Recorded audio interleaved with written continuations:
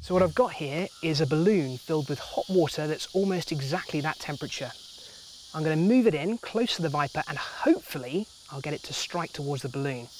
Here, we've got our mini cam set up and ready to record at high speed. That means that we should see the strike slowed right down and be able to really appreciate quite how awesome it is. Right, let's give it a go.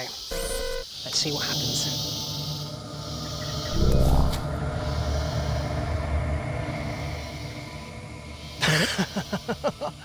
that was amazing. What do you reckon, Nick? You think you got it? Yeah, just Let's see. wait. Let's see.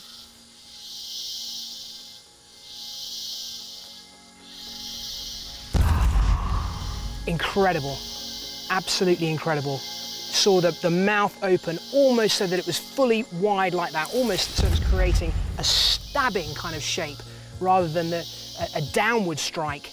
And the fangs were almost used like daggers to, to pierce into the balloon. That was amazing. Can I have another go? Is it all right? Can I have another go? I could do this all day long.